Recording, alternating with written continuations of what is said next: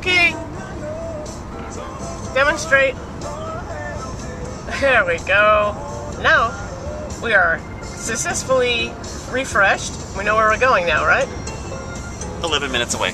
11 minutes away. Okay. How's the driving going, Jody?